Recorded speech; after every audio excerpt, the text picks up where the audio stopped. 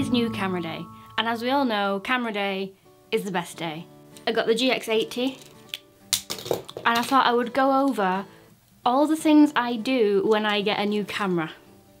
Just like a little setup, but my personal setup. Your judgment may vary. Let's do it. First of all, the jingle jangles. I hate them. I hate them. What's the point of them? I mean, I know the point is to put like a camera strap to them, but I hate them. So first of all, they've got to go. One down. Should not be let loose with a knife. Ah. No more jingle jangles. Next. We don't need this silly thing. And then we'll move on to my first bugbear. The first thing I always do whenever I have a new camera. And that's to get rid of the beep. Ugh. Oh, can't have the beep. Much better. Obviously, next, we have to post a photograph on Instagram. For the next few steps, I need my computer.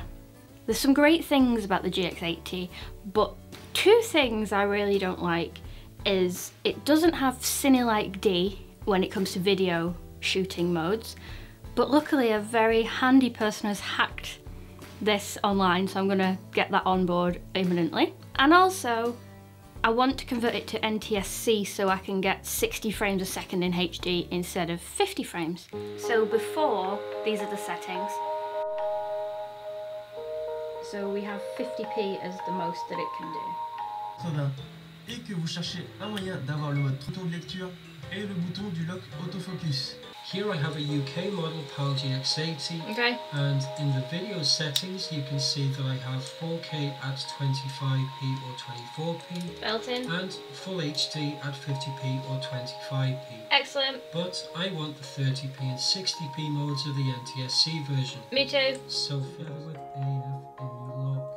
You should see an exclamation mark inside your Ah, yes. on the screen as the camera shuts off. You'll get getting the credit. Now, when you turn You- the camera on again, are getting the credit because none of the other videos worked.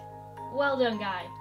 And now you can see, with no technical difficulties whatsoever, I have the correct settings. Booyah! And, and this is a serious tip that I always, you just have to do.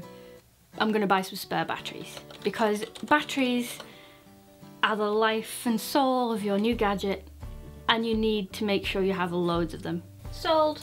As always with Panasonic cameras, there are quite a few function buttons, so I'm going to set those how I want them. So in C mode, which is now on the top, if you're in that and the press menu, the first thing that comes up is C1, C2 and C3. So now I'm in C1 is full HD, C2 is 60p and C3 is 4K 24. So I can toggle between all of these really quickly. In here, there's just a couple of tweaks. For a start, we can get off JPEG and get onto RAW. Aspect ratio, I used to switch it to a standard ratio, but I'm really enjoying the 4x3 now, to be honest. Burst rate, I'm going to set to medium. Because while it does have a fast burst rate, it has a quite a small buffer. So you're stuffed if you fill your buffer up and the action's still going on. So I'd rather have less speed and, and less buffering, if that makes sense. Now bracketing is something that I do quite often and I would like to put that into a custom mode in the menu. And I keep my self timer at 2 because I tend to use it for long exposures rather than anything else. I like to have my ISO increments in thirds because I think it gives you a bit more wiggle room.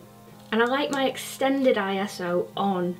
What that means is now we can go down below the 200 mark, down to 100, which is pretty cool because when that's off, the lowest you can go to is 200. And sometimes you just need a lower ISO, even if it's not the optimal for your camera. Long shutter noise reduction I turn off because you're going to do a lot of post-production with long exposure images anyway and there'll be a better quality of image if you do it yourself rather than let the camera do it. Again, I think I'm in the minority, but I always turn my assist lamp off. I don't think it really helps too much and it just looks awful, particularly if you're taking photographs in a sort of a group situation. So I turn that off. Gotta have your histogram on, man. Keep that in the corner, out of the way. And I love my guidelines, gotta keep the guidelines on.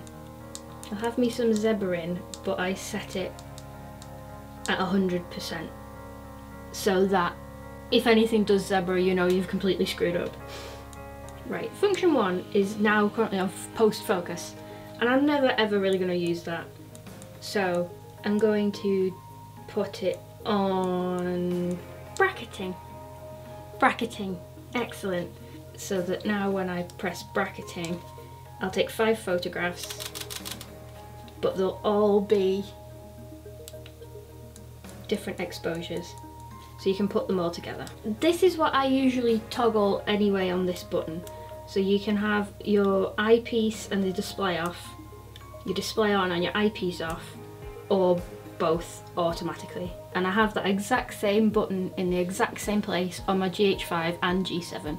Because when you're filming video, sometimes you end up trying to touch the screen and the screen goes off and it's super annoying. So that is a must for me. Super.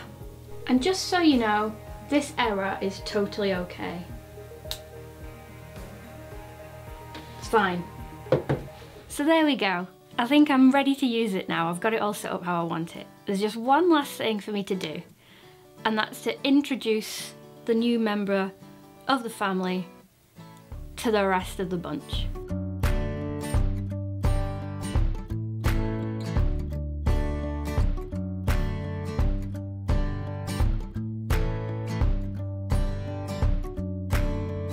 So what are your must-haves when you first set up a camera? What do you prioritise and get just how you want it first? Let me know in the comments below. Thank you as always for watching. I'm going to do a full review on this soon and also a little comparison with the G7 as well, I think. So let me know if you'd be interested in that. Thank you for watching, goodbye!